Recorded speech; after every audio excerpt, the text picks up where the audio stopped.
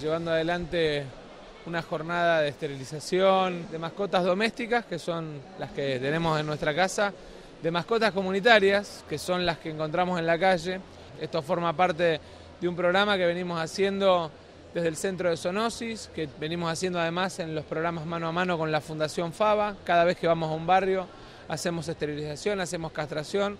Tenemos en este momento más de 10.000 castraciones realizadas. Esto es un gimnasio, una cancha de fútbol grande y se han montado desde el área de peluquería para que se prepare el animal para la castración, las áreas de quirófano, en total 120 personas abocadas a, desde el momento en que el animal llega hasta el momento en el que el animal se va, a que podamos atenderlo de la mejor manera posible, en conjunto con un grupo de trabajo que coordina Liz Solari, haciendo esto que entendemos que tiene que ver con cuidar a nuestros animales y que en definitiva es cuidarnos a nosotros mismos. Como siempre, al lado de los vecinos y al lado de las organizaciones no gubernamentales, todos en conjunto trabajando en este caso por nuestros animalitos, por nuestras mascotas tan importantes para la vida de todos los seres humanos. ¿no? Hoy hacemos un operativo en materia de castración y tiene que ver con lograr de que, bueno, que no encontremos perros en la calle, que no encontremos perros que no tienen dueño, con la tenencia responsable de quienes tienen un animal y que bueno, que hoy lo traen aquí para la castración. Realmente una jornada maravillosa, una gran respuesta de la gente, una gran respuesta de los colegas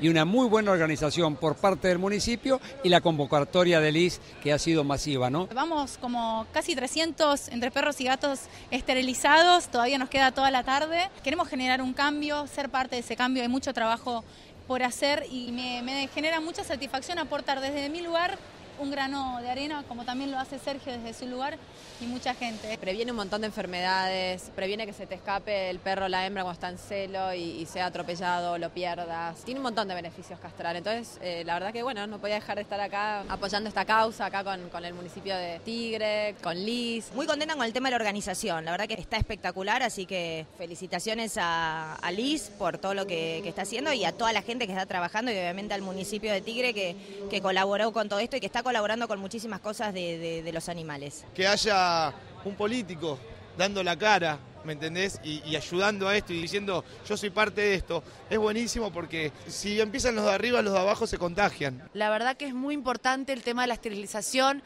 para poder terminar con... Eh, la cantidad de, perros que hay abandonados y que no tienen un hogar, una familia. En realidad es como una movida que tiene que empezar y tiene que seguir, no solamente acá, sino en cada, en cada barrio y en cada provincia, y que bueno, que esto sea a nivel masivo, ¿no? Digamos, me parece que es lo más importante. No pasa solamente por esterilizar para que no tengamos mayor cantidad de animales sueltos, también pasa por digamos, vacunar porque eso te permite hacer seguimiento de todo lo que son las enfermedades, antivirus, leptopirosis, todas las enfermedades de transmisión vía animal, digamos, hay que también hacer un control. Entonces, es, importante para cuidar nuestras mascotas, pero también es importante porque cuidar nuestras mascotas significa cuidar a nuestra comunidad.